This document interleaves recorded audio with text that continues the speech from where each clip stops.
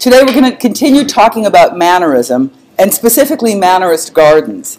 But I just wanted to review some basic issues surrounding mannerism, and that is that it represents a continuation of the language of classical architecture.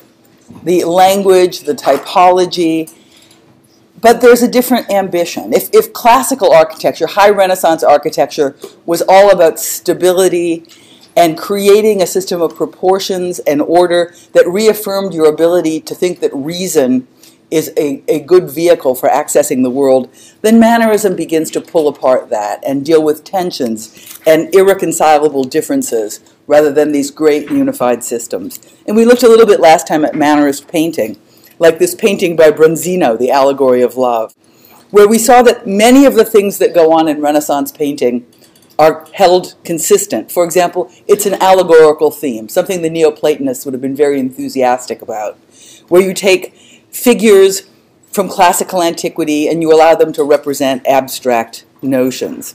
But one thing we noticed immediately is that the space is not the clear, carved out, parsed out, perspectival space of Renaissance Uh, architecture and Renaissance painting, but rather everything is just tangled and flattened right against the picture plane. It's also true that in Renaissance painting there tends to be a unified time, a unified place, and a unified action. You know exactly what's going on, and the geometry of the composition tends to reinforce that. Nice, clear pyramid, nice, clear center line. And here it's really hard to know exactly who all these people are and how they're all implicated in the allegory of love. It's even hard to know what space they're acting in. It seems as though there is no space at all for their actions to take place. And so the actions are ambiguous, the figures are ambiguous, their role is ambiguous. And so you look at this and you don't come away from it having any clear understanding of what's going on. We mentioned last time that one of the best vehicles for exploring Mannerist themes is, in fact, garden architecture. And one of the reasons for that is that it automatically puts into action a juxtaposition between landscape and architecture. And so the task of landscape architecture is sorting out this difference between nature and culture.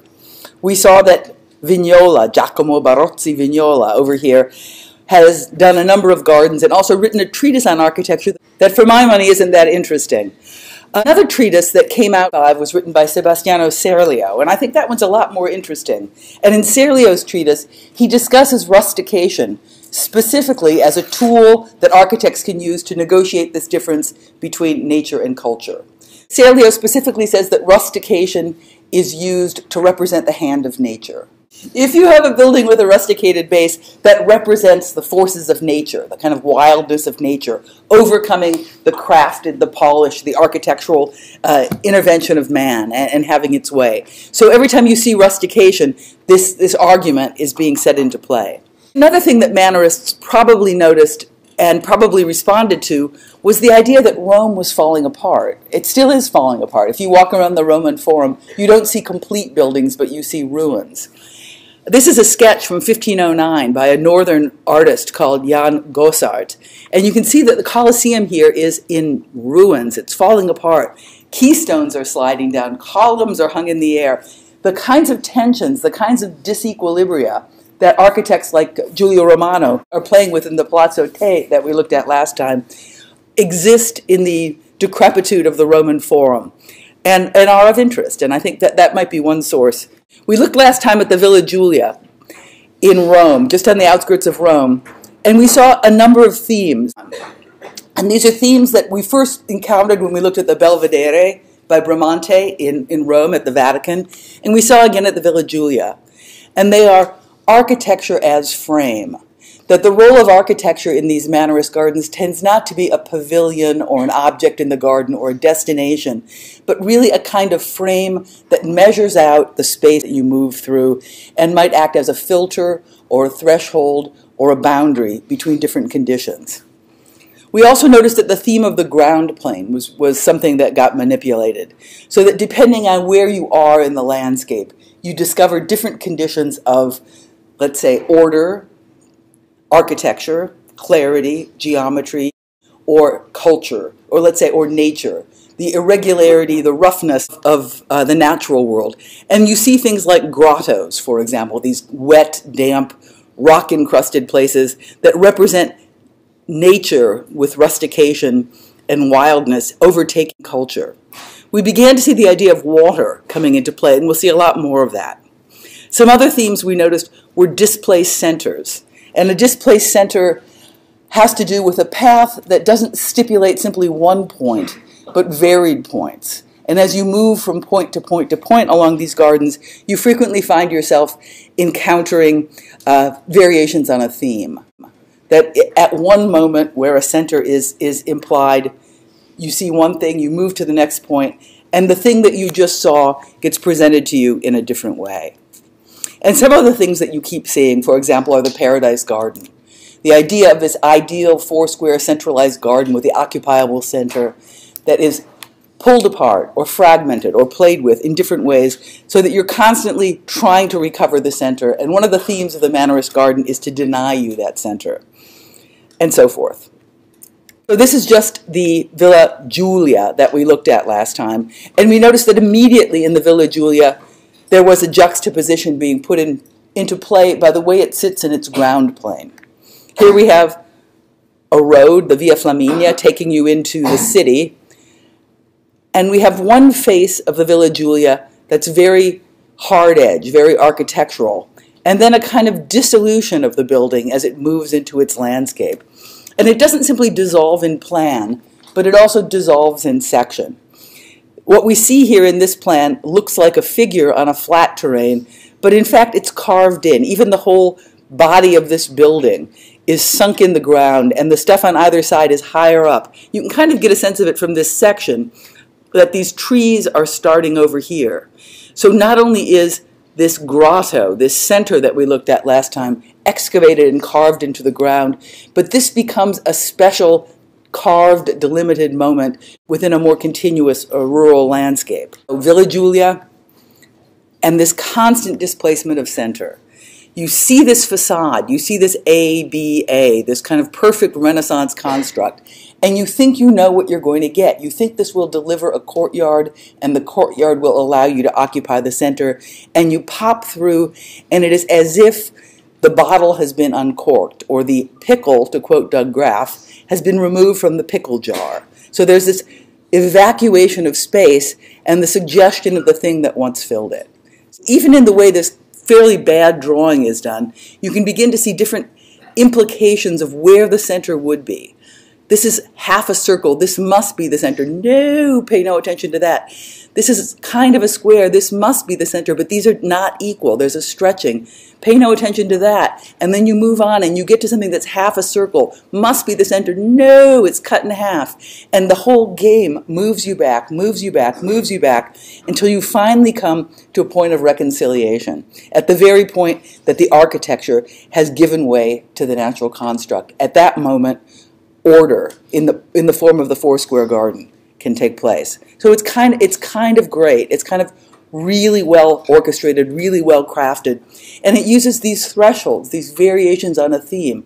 And in this case, one of the themes is the idea of the triumphal arch. You come here, you see a triumphal arch, a variation on it, a variation on it, a variation on it, a variation on it, a variation on it, a variation on it. And even when you look at the grotto in plan, you begin to see the motif of the arch framed by a kind of trabeated pairing, except it's a plan diagram rather than an elevation diagram. So even the idea that something that properly exists as an elevation can be equally well deployed to organize plan is hilarious and highly mannerist.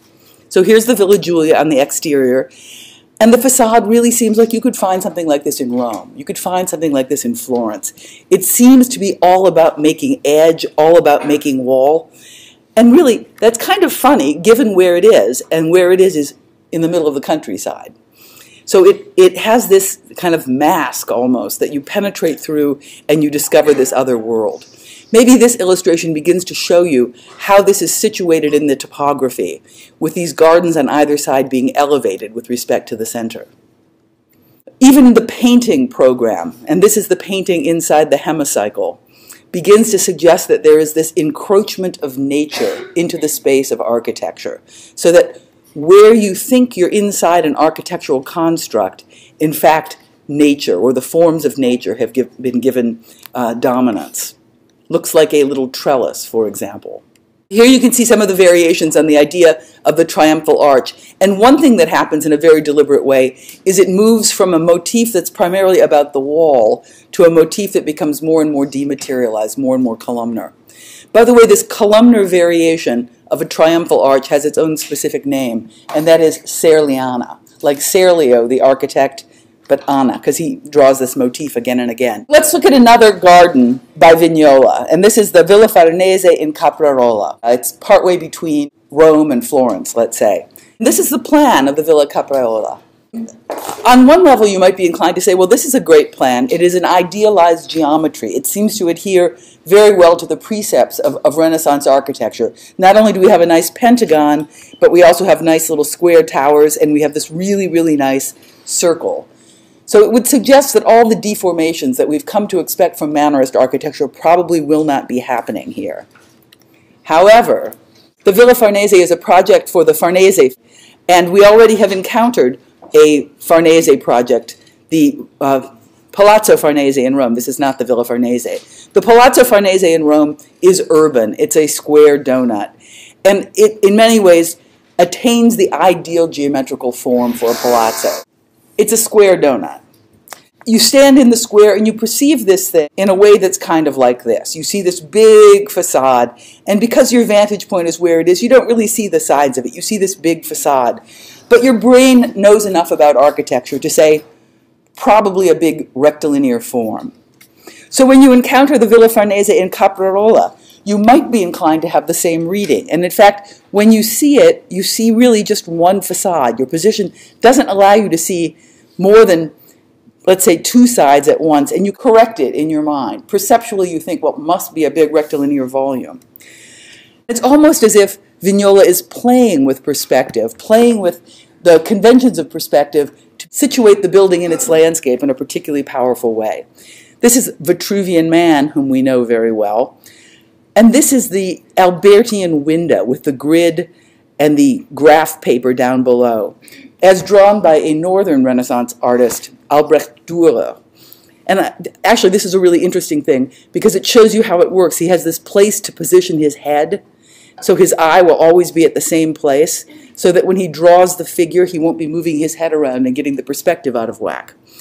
But what the perspective begins to show you is that there is something about converging lines. There's something about the pentagon or the trapezoid or the irregular form that can in pictorial space, in the, in the two-dimensional space of a representation, begin to look like it is orthogonal, Villa Caprarola, and some sections. I just want to show you some aerial views of this. Here it is. There's a ridge, little tiny town, one big road, which is named the Straight Road, that connects to a big plaza. And at the end of the plaza, we have this pentagonal villa with a round circle in the center. So it really almost looks like it's another one of these games of, of taking the pickle out of the pickle jar or taking an object out of a space, like we saw at the Villa Giulia. But now the thing that sets up the whole argument is not this artificial series of walls, but the construct of the entire city. There's this confined path, there's a kind of splaying trapezoidal space, and bang, out pops this thing.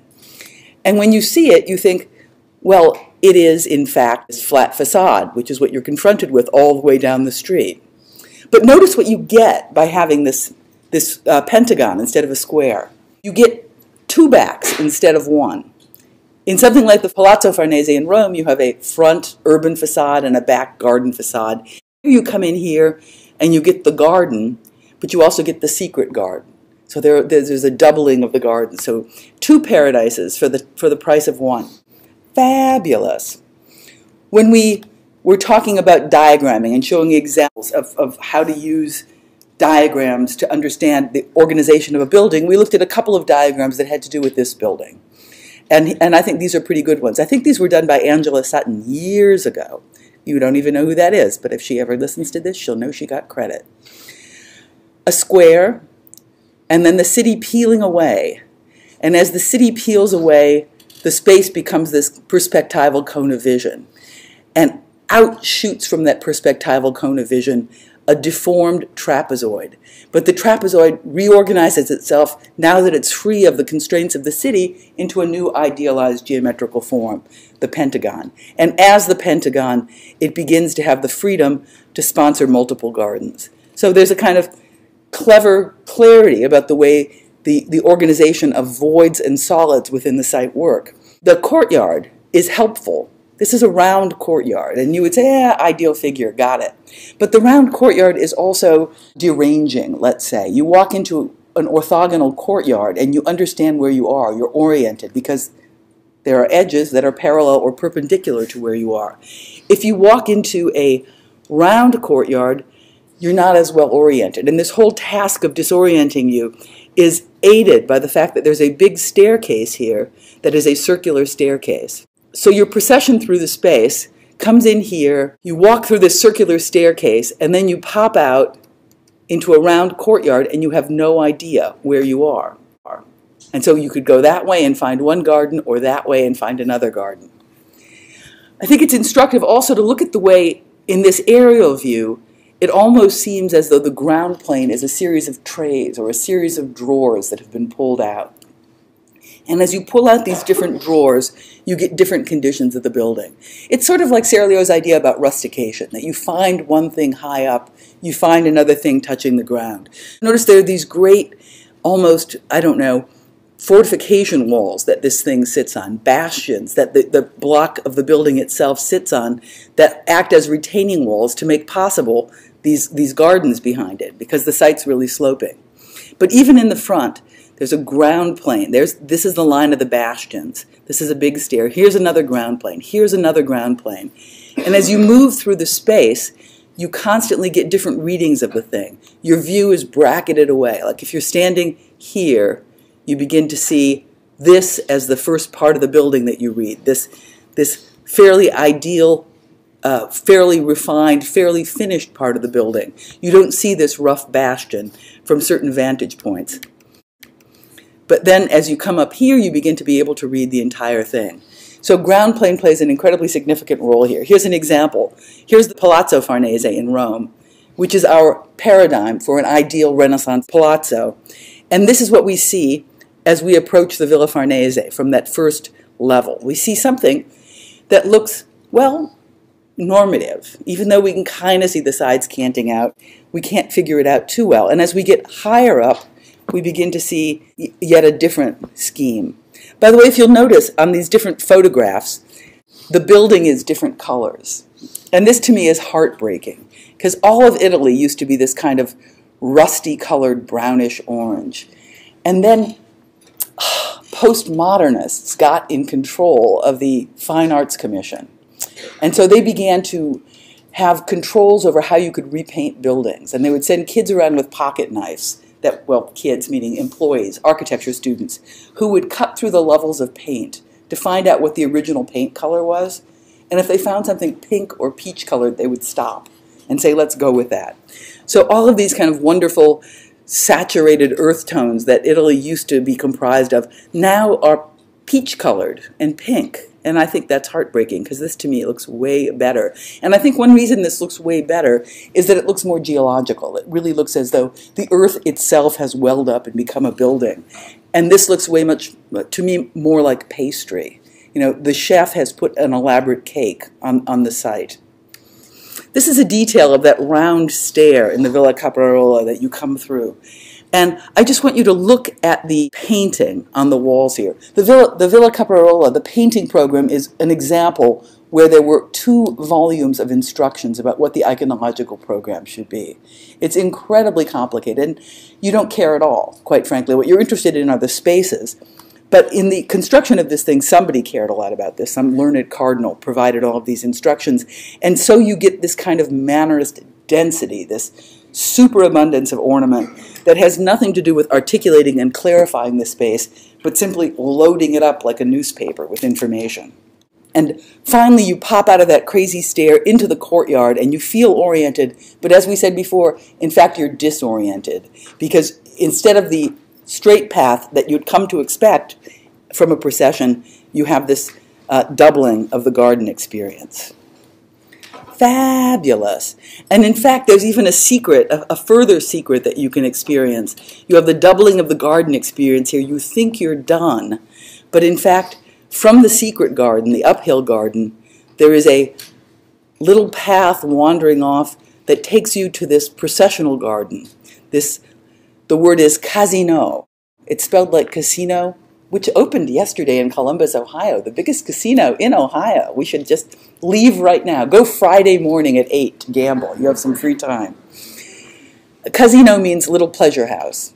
And you have to say that with the accent on the correct syllable, because if you say casino, it means brothel. So if you go to a garden and you want to find the little pleasure house, the little pavilion, casino, do not make a mistake. You will go to the wrong place otherwise. This becomes an elaboration on the theme of the slippy slidey center as, as you move through here.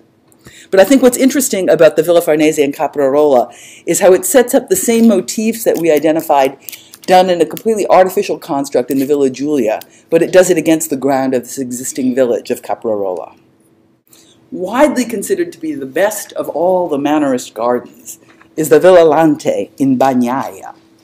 And Bagnaia is out in this same area near Viterbo, partway between Rome and Florence, in, the, in that area. One thing that makes this so great is that it is very well preserved, but also so clever. The entire construct is this larger precinct where part of it is a bosque. And bosque simply means woodland or forest. Over by the Knowlton School, we have this little area of trees between Knowlton and Hitchcock Hall and that's called the Bosque by the landscape architect Michael Van Valkenburgh, who put it there. And the university keeps wanting to tear down the Bosque. And if you ever see them doing that, you just camp out there, because that's what the students did last year when they tried to tear down the Bosque, and they didn't tear it down. And it's a nice thing. I don't know what they're thinking. Ah, crazy. But anyhow, look at look at the Villa Lante. One thing it immediately does is it sets up the Bosque and its, let's say, wildness, or at least manicured wildness against this extremely perfect garden at the, at the first moment. This kind of super manicured geometrical garden is called a parterre. Parterre simply means on the ground. It's French for on the ground.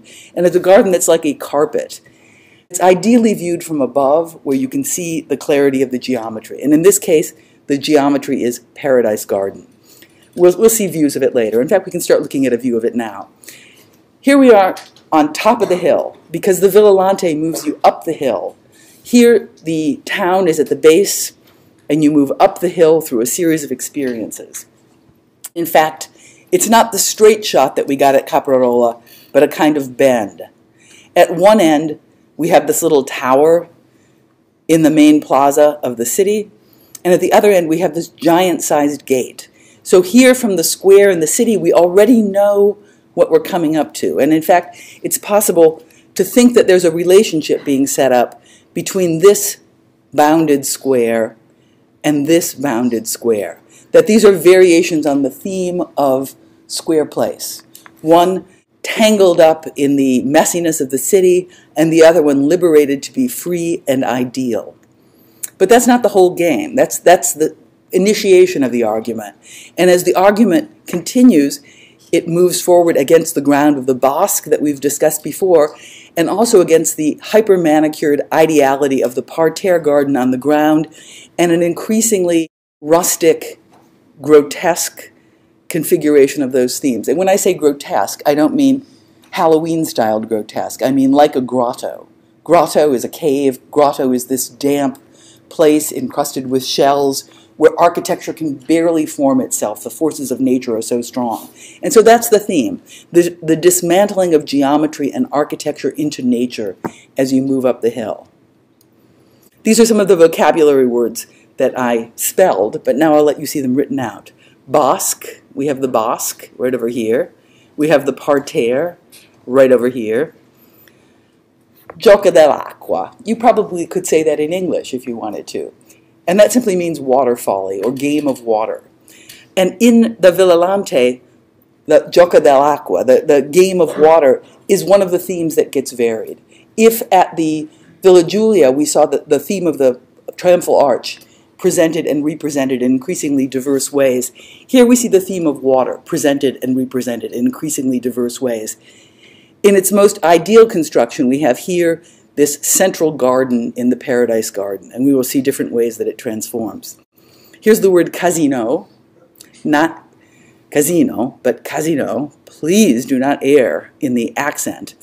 And that's the little pavilion, the little garden pavilion. And you might immediately notice that in the Villa Lante there isn't one garden pavilion, but two garden pavilions. So this mannerist game of doubling or repetition or redundancy is already happening here, so that the garden pavilion, instead of becoming a destination, now becomes a frame, and the path moves through that. Paradise Garden, we know what that is. Nature versus culture, shifting centers and the Bramantesque stair. When we looked at the Belvedere, we saw this moment in the Belvedere where there was a stair that was organized around a circular landing, but instead of allowing the circle to seem like a point of repose, it was pulling in both directions. Concave moving down, convex moving up, so that you felt a kind of tug of war on the space. This is a section showing you that you start low and you move high and, and we'll come back to this again. This, I think, shows you what you're looking at and also clarifies it. This is that paradise garden with the water in the middle, the two casino, and the path moving up the hill. And these are drawings from a book by Charles Moore and collaborators called Poetics of Gardens, where they try to do a series of diagrams of the gardens. And what they're diagramming here are water on the top one, and plantings on the bottom one. They're taking apart the different systems that organize the garden so you can see them clearly. Water as ideal foursquare. Then we come up and we find water on a split, sectionally splitting in two directions. Then we find water in various forms as a line. We'll look at these more carefully as we move up. So anyhow, this is the parterre. Fabulous and the casino. And notice all about the axis, all about the axis already established in the town, but no sooner do you proceed in here through the giant gate than you're denied the opportunity to move on axis, and you have to move around the axis. Back on axis, thank God, denied the opportunity to move on axis. And that's constantly happening. The axis is being stipulated, and then you're being denied the opportunity to understand and move through the axis. As we move higher and higher up, your sense of what this garden is changes depending on whether you're looking uphill or looking downhill. If you're looking downhill, it's kind of a renaissance experience. This path is clarified and things become clearer and clearer and clearer to you. Daylight is shining in on you. If you look uphill, things become more and more and more obscured. You're looking into the side of the hill, it's dark, and you begin to find these amazing moments, like this one. This is right over here. This is a kind of linear fountain trough with water at the base and this water thing in the middle.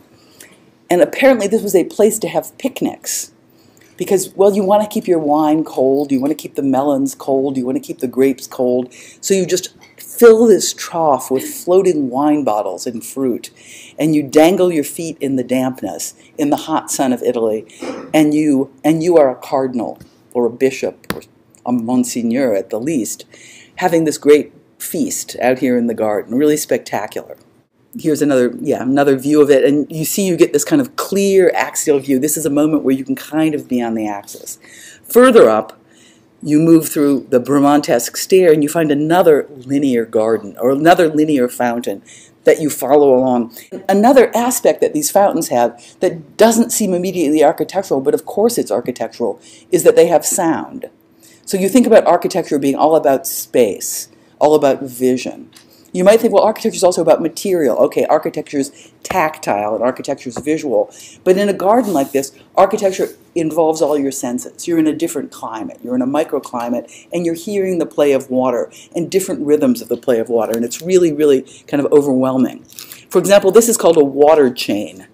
And it one of its stated purposes to, is to make this kind of rhythmic twinkling sound of water as it as it moves through all of these different little things and swirls.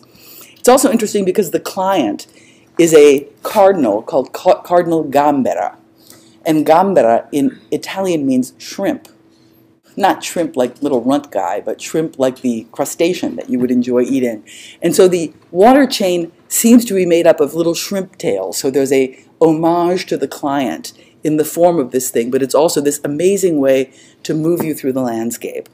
This is one of the fountains, and you can see how the section gets negotiated in these complex ways. These are river gods lulling about, and there's a sheer wall where the fountain begins to move you between these two different terrains. And it's again one of these split center figures. Part of this clear figure is up above, part of the clear figure is down below. And you get an edge of truncated columns here that increasingly begin to pun with the tree trunks that you see. So something that you would expect to work architecturally to actually hold things up now simply become verticals, just like the verticals of the trees. As you move higher and higher up, you, you get to increasingly wild conditions where the columns get completely lost within the thicket of the trees, these vertical columns. And for a moment, you have no idea whether you're in a garden or you're simply in the woods. And this diagram shows you what your last moment is, and that is suddenly you're contained by space. Your experience throughout this is being deflected around objects, never being able to occupy the center for more than a split second. And your terminus is you're in a center. And it's like being in a room. And you think, well, this is great. Finally, I've made it. But what you are in is in a room that has fountains all along the upper edge. And so Cardinal Gambara, never one to not have a good joke at the expense of his clients, could flip a switch and the fountains would pour water onto the guests and they would become the statues inside this complex arrangement of figures in, in a waterfall. Cool. And uh, to reprise the themes, your condition changes from terrain to terrain as you move up the ground planes from a very contained, bounded, uh, geometrically defined condition to something that becomes wilder and wilder. And you might say your role in this also changes from the rational, objective viewer, an appreciator of geometry, to someone who is solely caught in nature and only able to react with all their senses as the water from the walls pours out on you. Good joke, Cardinal Gambara. Here's another one. This is a bit later. Let's say it was started at roughly the same time. It was started at roughly 1550, but it was continued by an architect called Giacomo della Porta, who was an assistant to Michelangelo and who completed a lot of the Michelangelo projects that were left incomplete at Michelangelo's death. There's that kind of cleverness going on there, or at least training at the hands of a master. You look at this and you think, this is horrible looking. Because it is. I mean, it's so disproportionate, right? You see something that stretches and almost becomes like a billboard. You see this funny little top sitting on top of this big base, and you don't quite know what to do with it. It seems so, so odd. So, yes, Giacomo della Porta learned some things from Michelangelo. Let's look at a site plan to get a better sense of where it is and, and how we can understand this. Down here is the city square. So, like all these other gardens, it's locked into an urban construct. And the city is the town of Frascati. And Frascati is not neutral. Frascati is Roman Tusculum, and Tusculum is where Pliny had one of his villas. Pliny's literary descriptions of his villas were one of the sources of inspiration for all of these Renaissance and Mannerist gardens. So I think one task that Giacomo della Porta has for himself is to somehow re-evoke these Pliny qualities going on here. But it's also to use in a landscape context these kind of extreme lessons learned at the hand of Michelangelo. So you can see if this is the town square down here, there is this promenade, or let's say there are different ways to get here because you're moving uphill. One way to move uphill is straight, and the other way is obliquely. And Frascati is not neutral. Frascati is Roman Tusculum, and Tusculum is where Pliny had one of his villas. Pliny's literary descriptions of his villas were one of the sources of inspiration for all of these Renaissance and Mannerist gardens. So I think one task that Giacomo della Porta has for himself is to somehow re-evoke these Pliny qualities going on here. But it's also to use in a landscape context these kind of extreme lessons learned at the hand of Michelangelo. So you can see if this is the town square down here, there is this promenade, or let's say there are different ways to get here because you're moving uphill. One way to move uphill is straight, and the other way is obliquely. And both of these ways are authorized by the architecture because straight will keep you on axis, although you can't actually get to it that way. And oblique puts you on a path to arrive, and it also lines you up to see these things, which are little towers. And the little towers, to me, look like they are stretching the villa. This is the butterfly splayed out here. These are the pins pulling these edges apart because look at this. This is crazy. What do you see? What does this look like to you? Does anybody have any reading of, of how to understand the edge of this building? Yes. I think that's really smart. You look at the top here, you look up on top of the cornice, there's something that looks like a temple. So there's a weird positioning of a temple on top of a big, flat, billboard like building. Any idea of how to understand what that temple means in terms of the whole? Can we see any clues that begin to connect this to a larger set of relationships? No. Well, what are these things? Look over here. This is kind of weird, right? Or look at the fenestration. Fenestration means the system of putting windows in a wall. So if we think about a normal fenestration system, we might think of something like the Palazzo Farnese, where there's a nice even rhythm. Or if it's a syncopated rhythm, it's a clear syncopated rhythm. What, what is this fenestration system looking like? Yes? I think it probably is showing the interior space in the divisions because we have these different bays here, and so it's revealing something about the interior. But what about the what about that rhythm? What about the fenestration pattern? What about the rhythm? Yeah? Okay, good. It kind of looks like the top of the temple has been cut, and that these pieces in some way participate in this big triangle. Kind of looks like the thing has been cut and pulled or, or, or stretched in some way. And when you look at the fenestration pattern here, I think it authorizes that reading. It looks like these things are like too far apart. You would expect there to be a rhythm like this, same, same, same, and suddenly, woo, stretch. So there's this big triangle going on that organizes all of these elements that seem to be pulled. And why are they pulled? And one answer is they are pulled to make a relationship to the square, which is down here, as though this square is missing an edge, because it is. We have this fence here instead of the edge of the square. And instead, the fourth edge to the square has been removed and displaced up the hill. So there's this kind of gesture to, a, a to making a distant edge to a removed space. Amazing. Here's a little diagram showing you a series of events you get. And here we are starting down below, moving up, there's this kind of hemicyclical space described by Pliny in his description of his Tusculum villa, and then this big hulking billboard of a wall. And in fact, this diagram kind of shows you how thin this, this villa is, because it is thin. It is remarkably thin. And then it also becomes transformed as you move to the other side, because it's, we'll, we'll, we'll see how that happens. Well, I won't give it away yet. But here's this thin, stretched villa with these little pins holding it down, moving you forward from the square up in there. And you can see the, the thinness of this as you approach. Also, as you approach, there are these various ground plane games that happen. Uh, from, from the edge of the city, you see this. There's a topiary. Topiary is, is trimmed bushes to create a figure.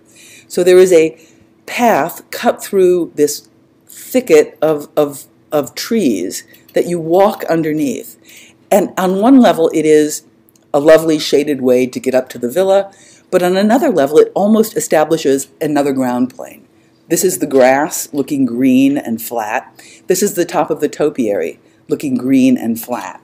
And I don't think this was necessarily an original condition, but it's incredibly effective at giving us a read on these different ground planes that we see peeled apart in the drawing here that as you move forward, you get these different retaining walls that give you these different variations on the, on the theme of the entry. It also gives you the opportunity from certain propitious places. If you're standing right over here against this, you begin to see the top of the green and the temple. It isolates the temple from all the mush and gives you this ideal figure in an ideal landscape instead of this incredibly contingent figure in an incredibly complex and uh, compromised setting. This is the temple floating above this topiary. Really cool. So here we are moving on up. And as we get to the top of it, there's a different condition. The condition becomes more about the center and much less about the edge. From the, from the city side, the thing wants to become as edge-like as possible.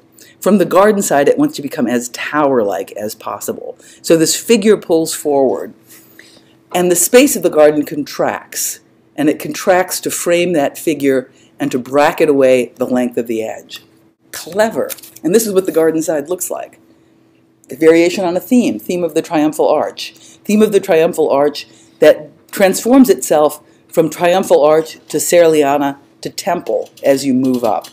And as you move through the different levels of the garden, different aspects of this are framed to you in very clear ways. So from ground level, from up here, you see this triumphal arch piece that seems to be more or less consistent with the wall and with the language of the, of the villa.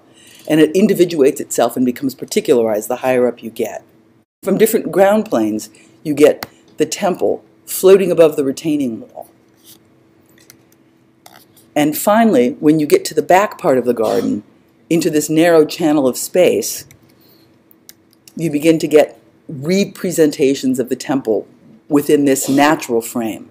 And by the way, this is just one of the events that you find as you wander through the garden. It's a little place to sit and have a, a moment's rest. There's a bench inside.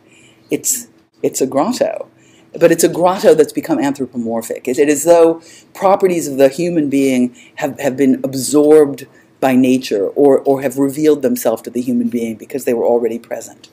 And this is what you get from walking up that narrow channel. You see a tower. So that which was emphatically horizontal now becomes emphatically vertical. And the higher up you get here too, the more situated you are. I don't know if you can see this, but here from the very top you have just the ideal temple organized uh, at, the, at the top of the complex. This photograph is only possible if you hurl yourself into the dirt because from, from eye level you don't really isolate the temple. But it's a nice idea that you would, and it gets drawn as though you would. You would get this without hurling yourself into the dirt. That's pretty good too. Probably the strangest of all these Mannerist gardens is one in the town of Bomarzo, also very close to the city of Viterbo in this area between Rome and Florence. It's the Villa Orsini, sometimes called the Sacro Bosco, the sacred forest or the Garden of the Monsters.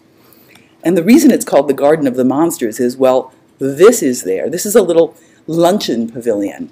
It takes the idea that we already saw in the Aldobrandini and it really makes it even more architectural with light pouring in the eyes and the nose and the mouth as your door. But one thing that's really strange about this villa is how it constellates itself in space. It's really much less clear architecture is much less able to individuate a, a, singular path and to give you a singular narrative.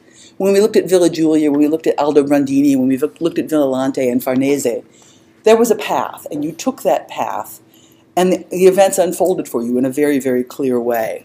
Here, it's almost like a grid of events, and you can reconstruct the path in lots of different ways because of that. It is said that the client, Count Orsini, was deformed, that he was a hunchback. And I don't know if that had something to do with a resistance to the notion of, of ideal geometries and ideal figures. But, there's something really kind of strangely overwhelming about this place with all of these strange monsters all over the place. Like the pavilion that we saw, the 50 foot woman, the winged mermaid, the double-tailed mermaid, all of these strange things that you find as you move through the garden derange your senses. And in fact, there, there are a series of these, these kind of stone carvings, bits of poetry that you find as you walk through there. And one of them says, pur per sfogar il cor, which means simply to overwhelm your heart. And I think that is key. I think that is revealing an entirely different idea about why you would do anything than everything we've talked about so far. Everything we've talked about so far had some kind of external reference, some kind of desire to mean something about the nature of the cosmos, or the nature of the state, or the nature of the client, or the relationship of the individual to, to nature but pur per sfogar il cor, simply to overwhelm the heart, begins to suggest that it is about a subjective experience. That this relationship with a garden doesn't have to have external reference anymore. It can be about the individual and the subjective experience of the individual in that garden. So there are all kinds of like crazy things going on, like broken temples, sunken temples. And you find your own path through this garden. One of the most interesting moments in the garden is this, which is the lopsided tower.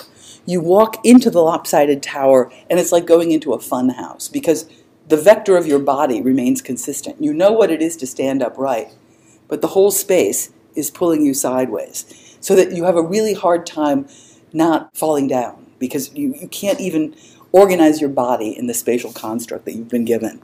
And there are a lot of different spaces like that too. Not only the monster spaces, but even things that seem somewhat ideal, like the temple spaces, are out of whack.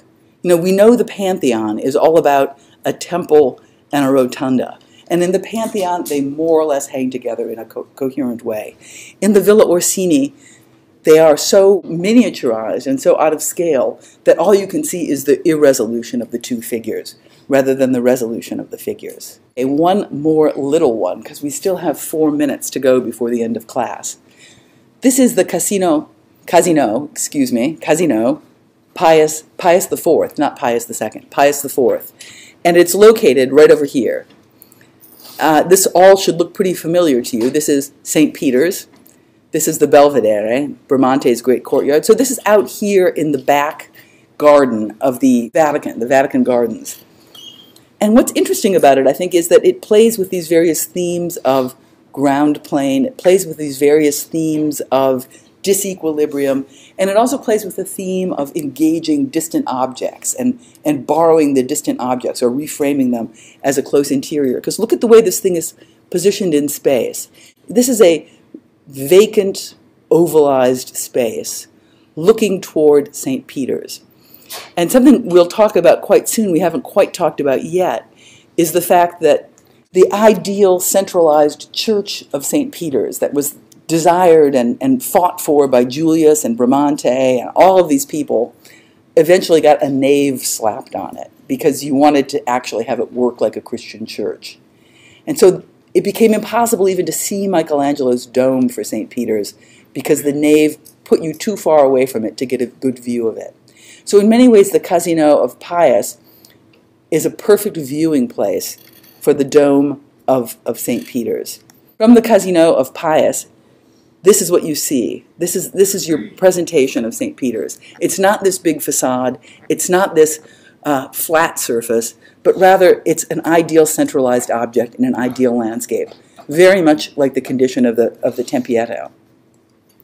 And this is what you see clustered around the edges of this exploding oval. Bits of architecture clipped to each side, and they're simultaneously multiple types. You look at this and you think, well, temple, I know it's a temple, it's got a pediment. But you also look at it and you see the kind of ornamental program and the flatness and the thickness of this entablature. And you think, sarcophagus, sarcophagus it's got to be a sarcophagus. So this simultaneous presentation of multiple possibilities begins to cancel them all out and uh, make it extra fabulous. Okie dokie. See you next time. I mentioned last time that one of the best vehicles for exploring Mannerist themes is, in fact, garden architecture. And one of the reasons for that is that it automatically puts into action a juxtaposition between landscape and architecture. And so the task of landscape architecture is sorting out this difference between nature and culture. We saw that Vignola, Giacomo Barozzi Vignola over here, has done a number of gardens and also written a treatise on architecture that for my money isn't that interesting. Another treatise that came out was written by Sebastiano Serlio, and I think that one's a lot more interesting. And in Serlio's treatise, he discusses rustication specifically as a tool that architects can use to negotiate this difference between nature and culture. Serlio specifically says that rustication is used to represent the hand of nature. If you have a building with a rusticated base that represents the forces of nature, the kind of wildness of nature, overcoming the crafted, the polished, the architectural uh, intervention of man and, and having its way. So every time you figures from classical antiquity and you allow them to represent abstract notions. But one thing we noticed immediately is that the space is not the clear, carved out, parsed out, perspectival space of Renaissance Uh, architecture and Renaissance painting, but rather everything is just tangled and flattened right against the picture plane. It's also true that in Renaissance painting there tends to be a unified time, a unified place, and a unified action. You know exactly what's going on, and the geometry of the composition tends to reinforce that. Nice, clear pyramid, nice, clear center line. And here it's really hard to know exactly who all these people are and how they're all implicated in the allegory of love. It's even hard to know what space they're acting in. It seems as though there is no space at all for their actions to take place. And so the actions are ambiguous, the figures are ambiguous, their role is ambiguous. And so you look at this and you don't come away from it having any clear understanding of what's going on. When you see rustication, this, this argument is being set into play. Another thing that Mannerists probably noticed and probably responded to was the idea that Rome was falling apart. It still is falling apart. If you walk around the Roman Forum, you don't see complete buildings, but you see ruins. This is a sketch from 1509 by a northern artist called Jan Gossart.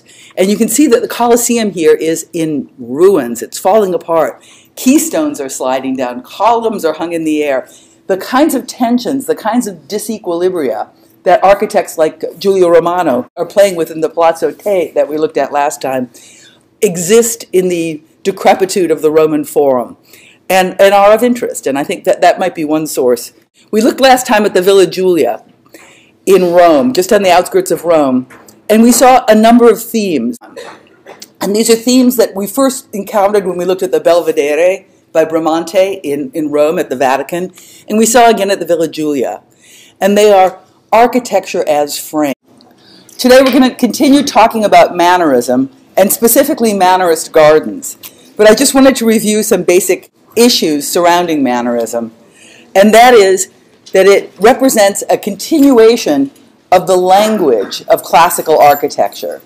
The language, the typology, but there's a different ambition. If, if classical architecture, high Renaissance architecture, was all about stability and creating a system of proportions and order that reaffirmed your ability to think that reason is a, a good vehicle for accessing the world, then mannerism begins to pull apart that and deal with tensions and irreconcilable differences rather than these great unified systems. And we looked a little bit last time at mannerist painting, like this painting by Bronzino, The Allegory of Love, where we saw that many of the things that go on in Renaissance painting are held consistent. For example, it's an allegorical theme, something the Neoplatonists would have been very enthusiastic about, where you take aim that the role of architecture in these Mannerist gardens tends not to be a pavilion or an object in the garden or a destination, but really a kind of frame that measures out the space that you move through and might act as a filter or a threshold or a boundary between different conditions. We also noticed that the theme of the ground plane was, was something that got manipulated, so that depending on where you are in the landscape, you discover different conditions of, let's say, order, architecture, clarity, geometry, or culture, or let's say, or nature, the irregularity, the roughness of uh, the natural world. And you see things like grottos, for example, these wet, damp, rock encrusted places that represent nature with rustication and wildness overtaking culture. We began to see the idea of water coming into play, and we'll see a lot more of that. Some other themes we noticed were displaced centers. And a displaced center